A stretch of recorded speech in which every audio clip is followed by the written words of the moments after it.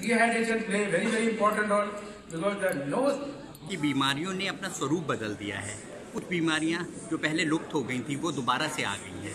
जैसे for example typhus fever जैसे जैसे अर्बनाइजेशन हो रहा है, गाँव ख़त्म हो रहे हैं, पशु शहर में आ रहे हैं तो पशु की बीमारियाँ मनुष्यों में आ रही हैं। लाइफ स्टाइल चेंज हो रहे हैं पॉल्यूशन स्मोक फॉग इस वजह से एलर्जी अस्थमा बढ़ा है।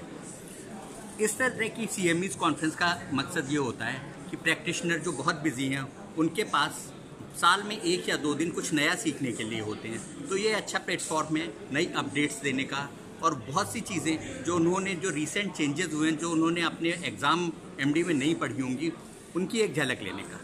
अच्छा जहाँ पर पेरेंट्स को लव के साथ में डिसिप्लिनिंग भी करनी चाहिए या लिमिटेशन भी उनको समझाना चाहिए या नेगोशिएशन स्किल लाइफ के कोपिंग स्किल्स बताने चाहिए, वहाँ पर हमारा एक बहुत बड़ा गैप रह जाता है। जिस वजह से ये बच्चे अपने आस पड़ोस के बच्चों से या मीडिया से कुछ गलत चीज़ें सीख रहे हैं, गुस्सा आता है उनको। उनके एक्शंस में रिबेलियसनेस है।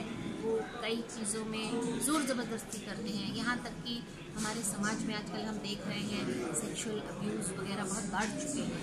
तो ये सब एग्रेशन के चलते हम अब देख रहे हैं कि इन बच्चों में कई नकारात्मक चीज़ें आ रही हैं।